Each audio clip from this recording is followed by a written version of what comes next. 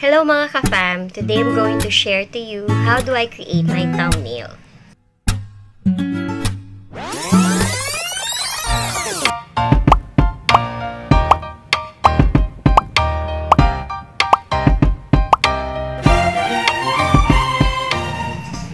Hello guys! Welcome back to my YouTube channel. For today's video, I'm going to teach you how do I create my thumbnail.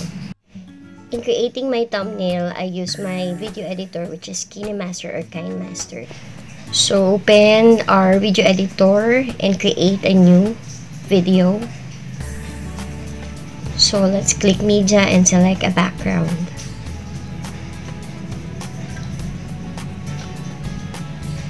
After the background, I'm going to insert a picture from PixArt.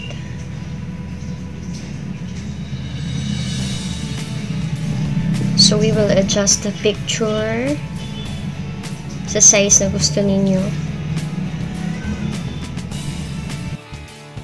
Guys, I'm doing my video intro.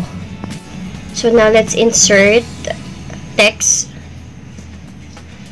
just type whatever you want to type. What I love about KineMaster is madami siyang effects. Ang dami niyang, ang dami mong pwedeng ilagay. Ang dami niyang uh, font na pwede mong piliin. So, may enjoy mo to.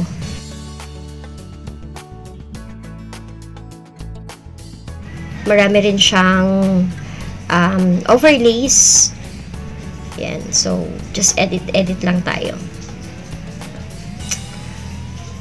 Okay. So, that's the title. Unboxing. So, now let's um, insert some words. And then change the font that you like.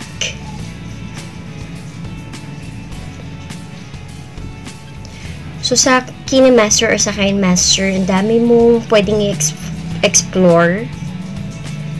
And sobrang na-enjoy ko siya kasi marami siyang effects. So just continue editing.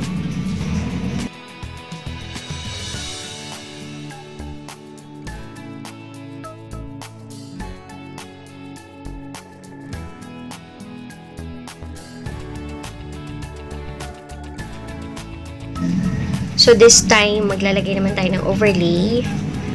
Ayan, so, ang dami nyo rin pamimilian dito sa overlay. Ang dami niyang mga stickers na pwede nyo gamitin and you will enjoy. Yan, so sobrang dami, nahihirapan na akong hanapin actually at tandaan kung saan siya makikita. So, mag-insert tayo ng mga question marks. Ayan. There. So, edit lang natin. And adjust and then ayan and then let's insert another overlay. So yun namang isang klase. So ganun lang guys. So maglalagay lang kayo ng overlays ng mga effects para maging attractive yung inyong thumbnail. Thumbnail is yun yung unang impression dun sa video mo eh. So dapat yung thumbnail ginagandahan talaga natin at uh, ine-effortan. Nag-e-effort talaga dapat tayo sa thumbnail kasi yun yung unang makikita and yun yung nakaka-attract sa viewers natin para para siyang advertisement na iniinganyo mo yung mga customer mo na pumasok at manood ng mga video mo. Ayan.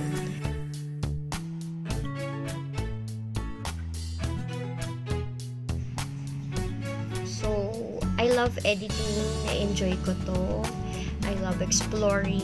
Yun yung madalas na ginagawa ko sa sa mga bagong kaalamanan na gagawa ko. So,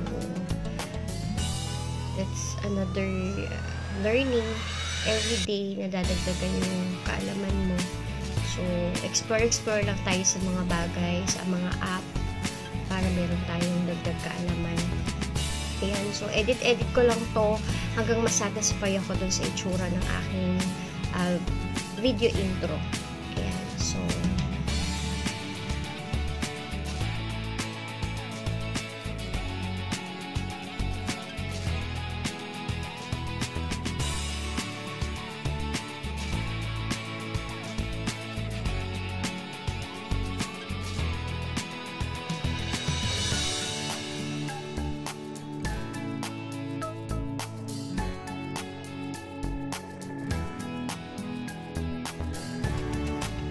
There you go, my intro is done. So, after that, dyan ko kukunin yung aking thumbnail. For my thumbnail, I just screenshot the best part of my intro. Pagka-screenshot ko, pupunta ako dun sa gallery ko and ika-crop ko siya. Ayan, so, kakrop ko lang tong aking screenshot. After nating makrop yung picture, meron na tayong thumbnail. So, guys, ganyan yung ganyan lang yung paggawa ko ng thumbnail. So, I hope na nakatulong tong video na to sa inyo. And guys, if you like this video, don't forget to give it a thumbs up. Thank you for watching.